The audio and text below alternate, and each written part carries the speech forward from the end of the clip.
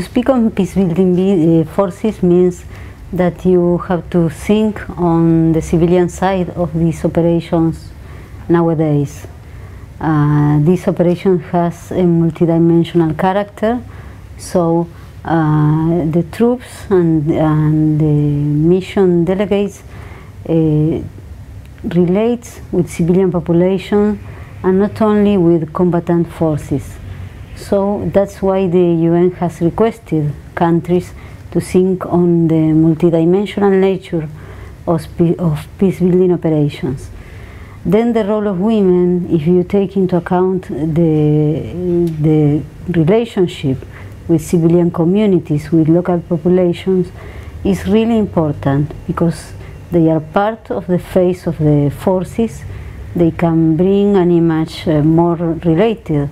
uh, to, uh, to an, an, image of uh, a multidimensional military operation and they can fulfill roles that men cannot fulfill, like taking complaints of women who has been affected by sexual violence or making, uh, being part of checkpoints, distributing food to local populations where women are really important in that distribution and especially uh, it has to be with gender uh, opportunities, with equal opportunities that both men and women uh, has to have in a military force. That's why since the year 2000 the UN is especially requesting through resolution 1325 that women uh, must be part of the peacekeeping operations and it is requesting uh, to the troop contributing countries to undertake programs and, and national action plans for this incorporation of women to the forces.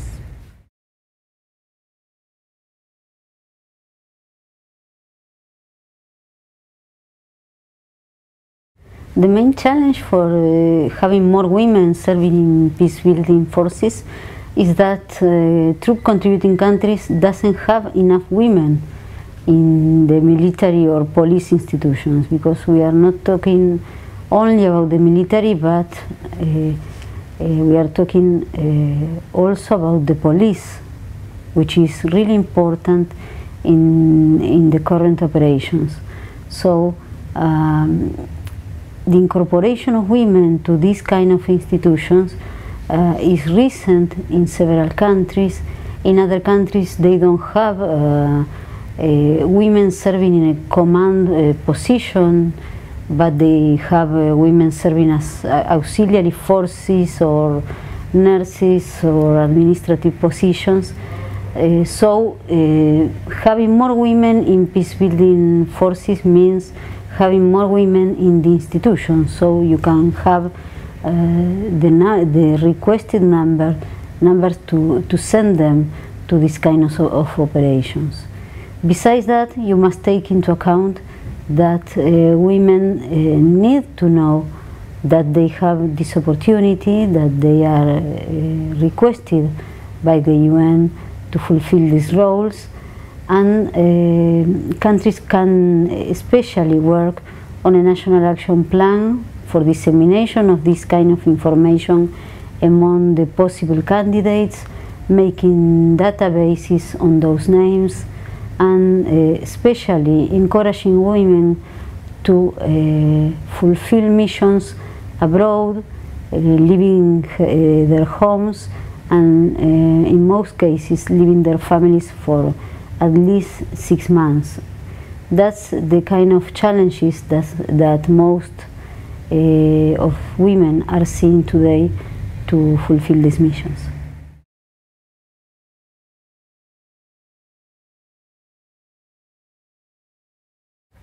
We are uh, referring to two different uh, situations. Um, when you speak about uh, women in the military or women in the police or in peacebuilding forces, you are also speaking about women in culture, women in society. I mean, it has a, a close relationship with the position and with the situation of women in each society, even in the society that that is suffering the conflict and in the society that is contributing the troops or the personnel for that mission. So uh, CEDAW is a framework for uh, societal, societal and cultural changes. Uh, CEDAW brings a, a basic framework that uh, countries should uh, fulfill regarding uh, the respect for women, equal opportunities, uh, rights, and the duties of the state regarding women. The UN resolutions are a framework for conflict situations. So uh, they are both part of a, a same international effort to uh, promote the, the empowerment of women and to promote the situation of a better situation for women, both in countries that are contributing troops and in countries that are suffering conflicts. So uh, especially applies uh, to every country in the world, not only to countries who are suffering a, a conflict.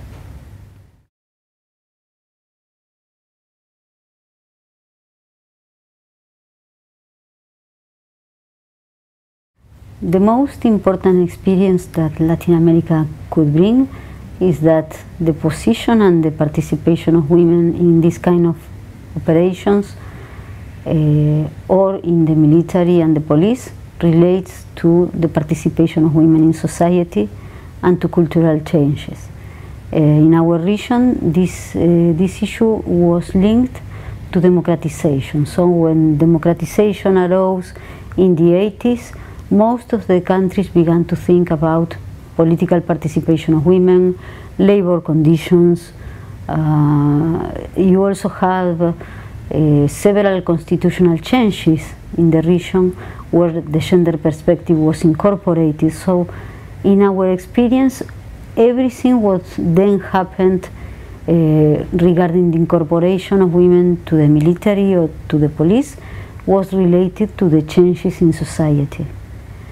Uh, I also think that uh, Asia can bring uh, Latin America an extraordinary, extraordinary experience in peacekeeping because uh, the amount of, of personnel that Asia is contributing and the experience that this personnel is, uh, is having is, is extremely important for a region like Latin America who is, which is starting this, uh, this kind of participation. Uh, so I, I do think that uh, we share the, the commitment with international security, the commitment with building up a better world in conflict zones, and that uh, the sh this sharing between our regions should be more frequent. Música